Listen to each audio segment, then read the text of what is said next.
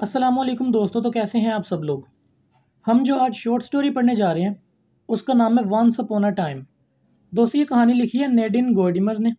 ये उस वक्त की कहानी है, जब साउथ अफ्रीका पर बरतानिया की हुकूमत थी और इसमें दिखाया गया कि जो बरतानिया की हुकूमत के दौरान जो साउथ अफ्रीका के लोग हैं, जो ब्लैक पीपल हैं, उनकी ज़िंदगी कुछ बेहतर नहीं थी। यानी वो चोरियाँ वगैरह करते थे और उनका जो लिविंग स्टैंडर्ड था, वो काफ़ी लो था। जबकि उसी माशरे में जो वाइट पीपल हैं, उनको तमाम जो फैसिलिटीज़ हैं वो अवेलेबल थी। तो चलें इसे शुरू करते हैं। दोस्तों, ये कहानी शुरू होती है जो नेडिन गोडिमर है, यानी इस स्टोरी की जो राइटर हैं। वो कहती हैं कि मुझे किसी का ख़त आया। उसने कहा था कि आपको बच्चों के लिए जो स्टोरीज़ हैं, वो लिखनी चाहिए। तो वो कहती हैं कि मैंने उसे जवाब दिया कि मैं नहीं चाहती ऐसा करना। तो उसने मुझे दोबारा ख़त लिखा और उसने कहा कि जो रिसेंट एक जो सेमिनार हुआ है, वहाँ पर एक नॉवलिस्ट ने कहा है कि हर राइटर को कम से कम एक स्टोरी बच्चों के लिए ज़रूर लिखनी चाहिए। तो वो कहती है कि मैं अभी सोच रही थी उन्हें दोबारा जवाब देने का और ये कहने का कि मैं नहीं चाहती ऐसा करना या मैं इस चीज़ को नहीं मानती। वो कहती हैं कि अभी मैं ये सोच ही रही थी कि एक रात मैं सो रही थी और मेरी आँख खुली सोते हुए और वो कहती हैं कि मुझे आवाज़ आई जैसे कोई शख्स लकड़ी के फ्लोर पर पाँव रखता हुआ चलता जा रहा है। क्योंकि दोस्तों, उनका जो घर है, वो वुडन हाउस था, लकड़ी का बना हुआ था। तो वो कह रही थी, ऐसा लग रहा था, वो साउंड ऐसा था जैसे कोई शख्स रात की खामोशी में लकड़ी के ऊपर पाँव रखता चलता जा रहा है और एक जो क्रीकिंग साउंड है, लकड़ी के दबने का, वो मुझे साउंड आ रहा था और मैं बड़े ध्यान से कान लगाकर सुन रही थी कि ये कौन है। वो कहती हैं कि ना तो मेरी खिड़की के बाहर लोहे की सलाखें हैं और ना ही मेरे तकिए के नीचे कोई गन है। मैं बस चुपचाप लेटी, उन आवाज़ों को सुन रही थी और उन्हें याद आता है कि अभी कुछ दिनों पहले इसी मोहल्ले में दिन दिहाड़े एक औरत का कत्ल हुआ और वो किया एक मज़दूर ने, जिसको सैलरी दिए बगैर वहाँ से निकाल दिया गया था। तो वो डर जाती हैं कि दिन दिहाड़े अगर ऐसी हरकत हो सकती है तो रात को भी ये काम हो सकता है।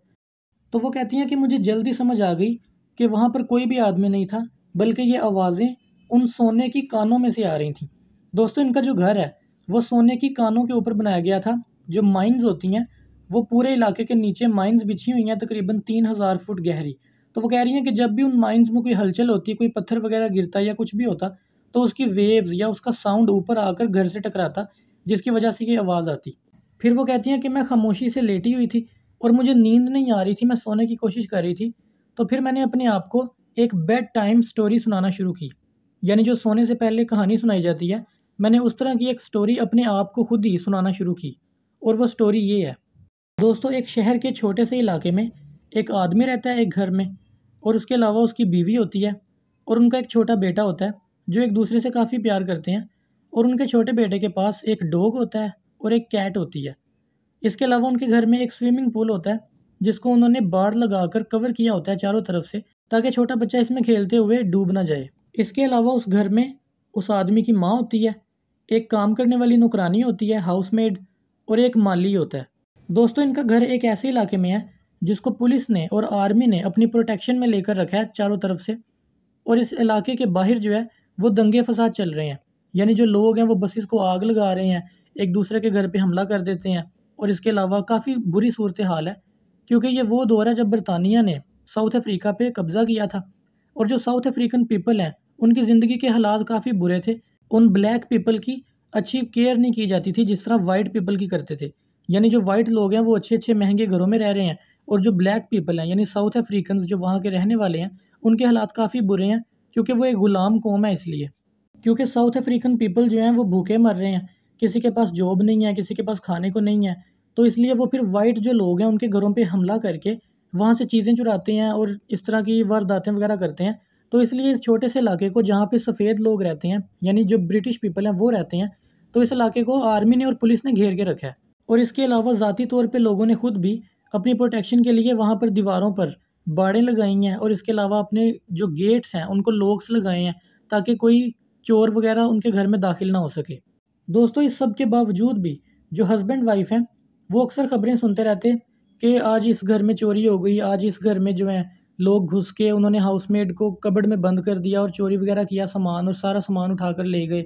और कभी कभार तो कत्ल के वाक़ात भी वो सुनते रहते हैं। तो इसलिए वो क्यूरियस होते हैं कि हमारे साथ भी कहीं ऐसा ना हो। तो इसलिए वो अपने घर की प्रोटेक्शन के लिए सेफ्टी जो है, घर की वो बढ़ाते रहते हैं। वो आहिस्ता आहिस्ता अपने घर को सेफ्टी के हवाले से अपग्रेड करते जाते हैं। वो अपने घर की दीवारें भी ऊँची कर लेते हैं। वो अलार्म सिस्टम भी लगवा लेते हैं ताकि अगर कोई घुसने की कोशिश करे तो अलार्म चल जाए और उनका जो गेट है वो इलेक्ट्रॉनिक गेट होता है ताकि अंदर आने से पहले जो शख्स है वो इजाज़त मांगे तो फिर गेट खुल सके। तो इस तरह की वो चीज़ें करते रहते हैं। तो अक्सर अवकात ऐसे होता है कि उनके घर की जो बिल्ली है, वो अक्सर दीवार फलांगती है तो वहाँ पर अलार्म सिस्टम चल जाता है।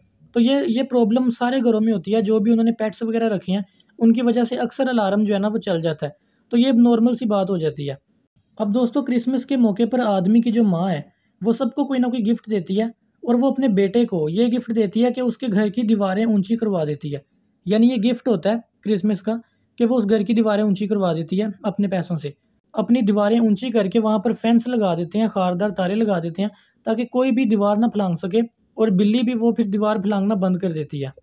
और जो छोटा बच्चा होता है, उसके लिए वो एक परियों की कहानियों वाली किताब खरीदती है ताकि उसे कहानी पढ़कर सुना सके।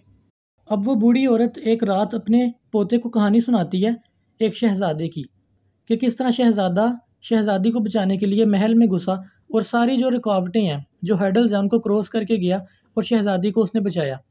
अब बच्चा जब सुबह उठता है तो वो अपने आप को इमेजिन करने लग जाता है कि वो शहज़ादा है और वो सारी जो हेडल्स हैं, उनको क्रॉस कर लेगा।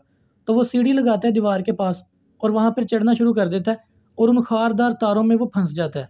अब उन खारदार तारों में फंस जाने की वजह से उस बच्चे के हाथ और घुटने लहू लुहान हो जाते हैं और वो जितना निकलने की कोशिश करता है, उतना ज़्यादा और उलझता चला जाता है।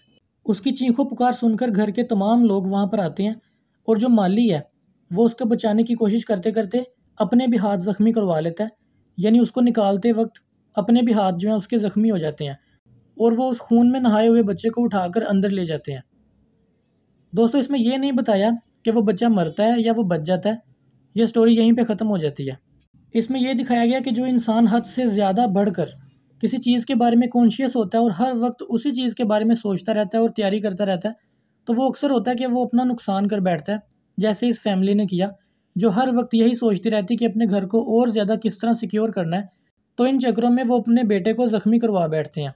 इसमें एक और चीज़ ये है कि जो इस स्टोरी की राइटर हैं नेडिन गोडिमर वो जो कह रही थी कि मैं बच्चों की कहानी नहीं लिखूँगी, दरअसल उन्होंने बच्चों के लिए कहानी लिख दी, क्योंकि जब उनके साथ ये वाक़ पेश आया और वो सोने की कोशिश कर रही थी, लेकिन नहीं सो पाई तो उन्होंने अपने आप को ये कहानी सुनाना शुरू की।